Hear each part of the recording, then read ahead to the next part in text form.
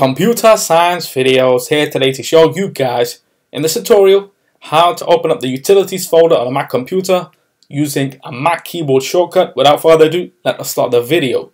So in this tutorial, you need to have access to a Mac computer, be able to use these keyboard shortcuts to do whatever you require to do. So we can now start the tutorial.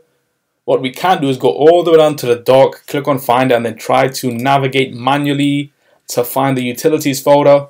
I cannot even see this within the favorites toolbar or the favorite sidebar, which is why it becomes a problem. However, if you do remember the keyboard shortcut, which is Shift Command and U to access utilities, we can do that now.